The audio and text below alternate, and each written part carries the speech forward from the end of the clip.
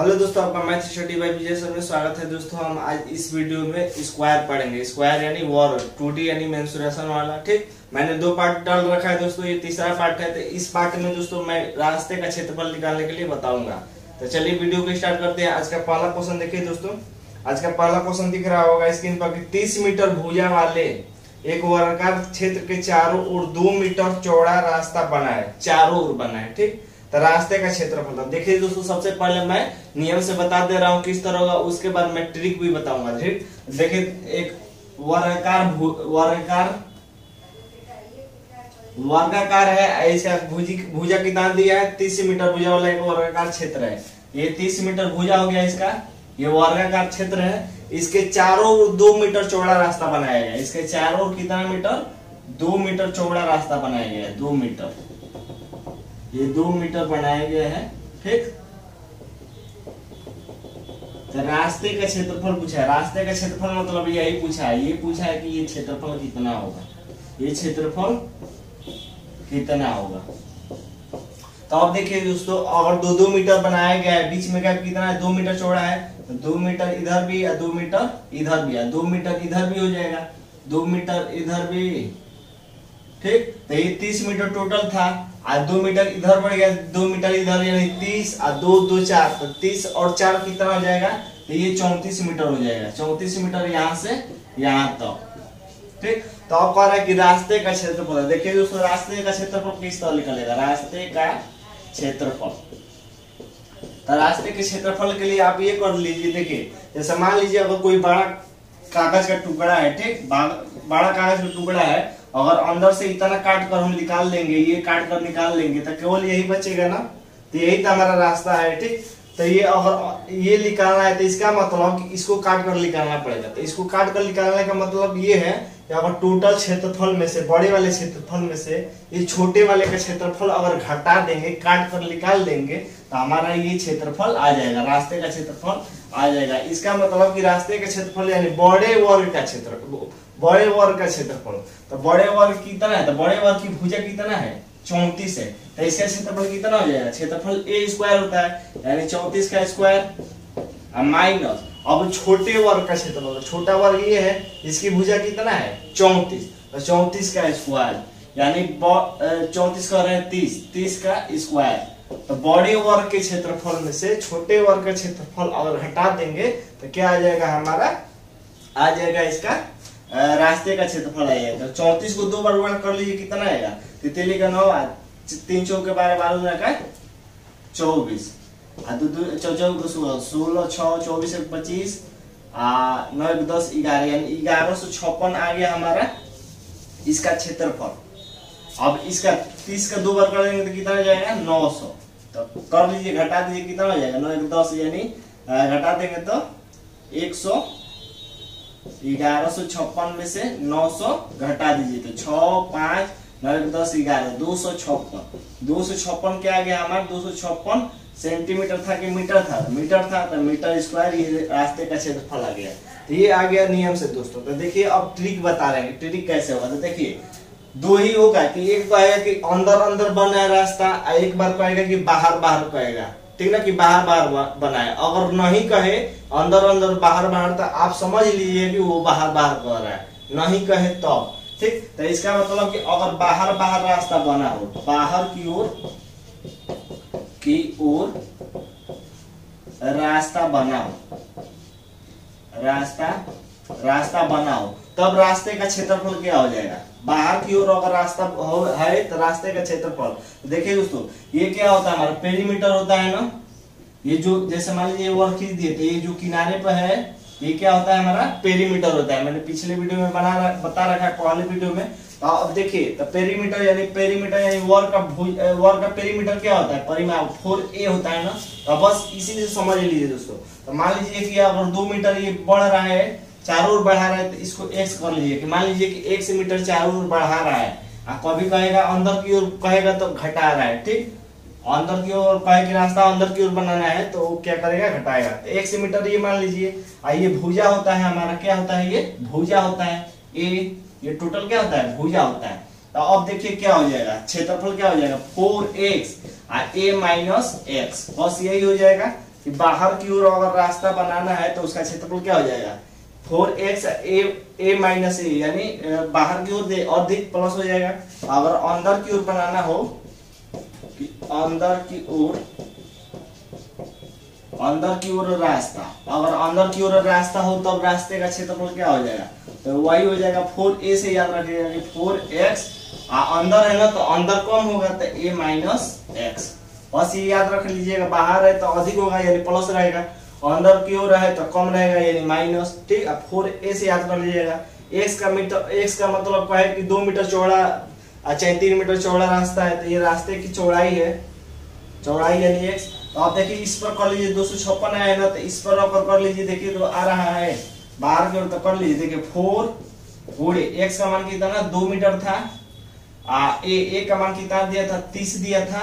और plus x यानी दो, ठीक? एक मान तीस दिया था। तो कर लीजिए चार दुना का आठ, आ तीस दो, बत्तीस गुणा कर दिया आठ दुना का सोलह तीन चौबीस सौ पच्चीस। देखिए, दो सौ छप्पन मीटर स्क्वायर आ गया दोनों से।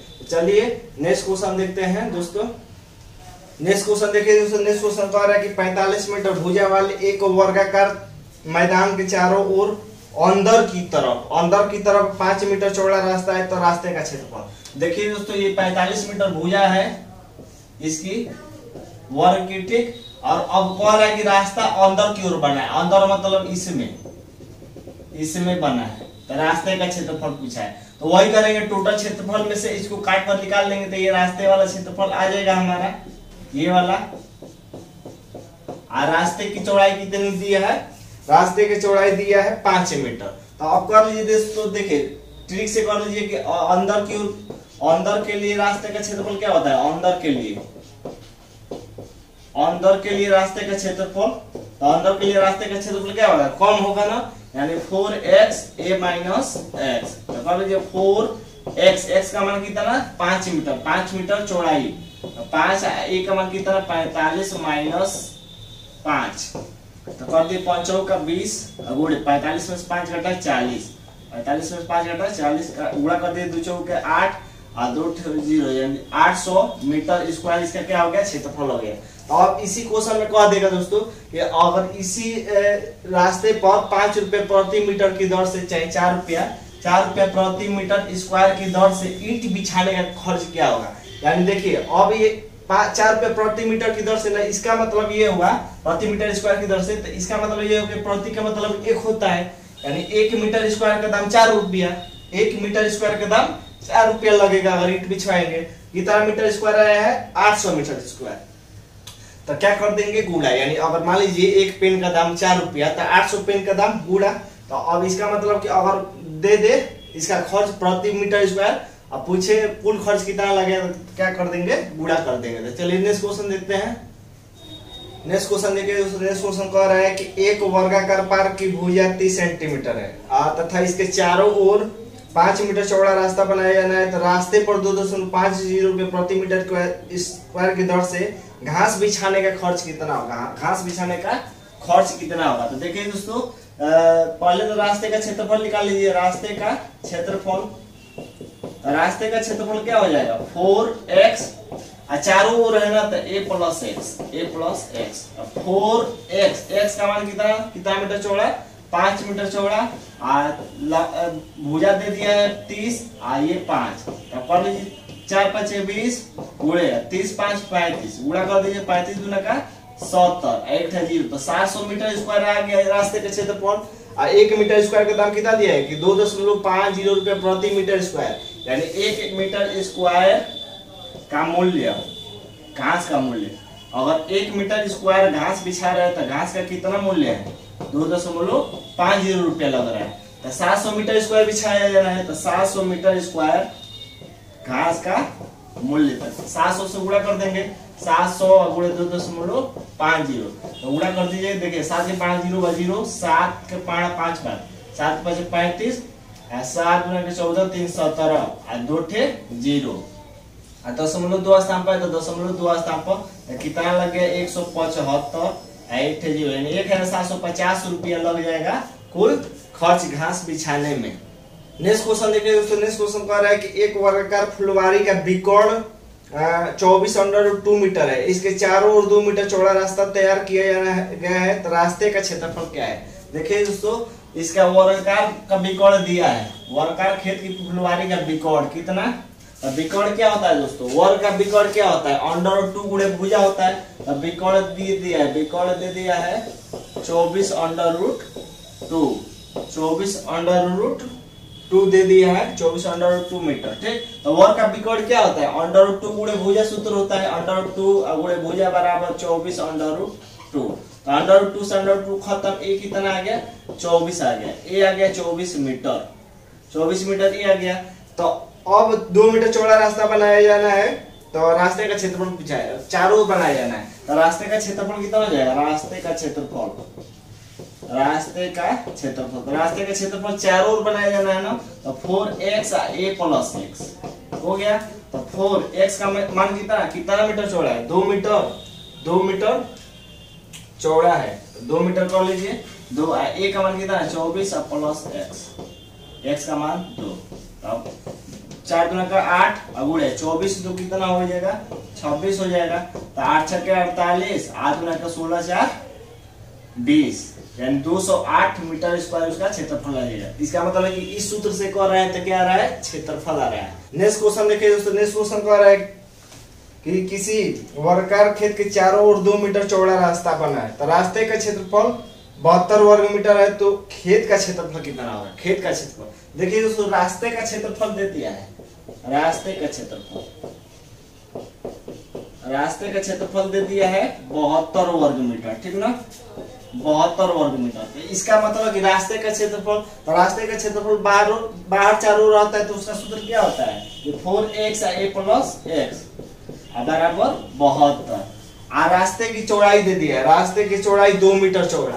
तो कर लीजिए, फोर गुड़े दो, फोर गुड़े दो, आ ए प्लस दो। बराबर बहत्तर चार दूना का आठ। आठ।